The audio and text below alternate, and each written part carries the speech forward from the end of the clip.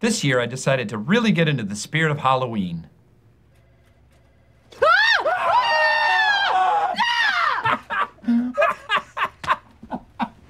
It may have been the costliest decision I've ever made.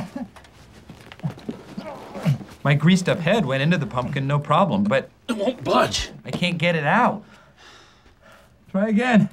I mean, I could try destroying the pumpkin. No, no, no, But as Jim and I discovered, no. Any blow to the pumpkin itself could prove fatal to me. At first, I drove myself crazy thinking about the things I should have done differently. Yes, I never should have played that joke on Erin. Keyboard. Never should have hollowed out this damn pumpkin in the first place.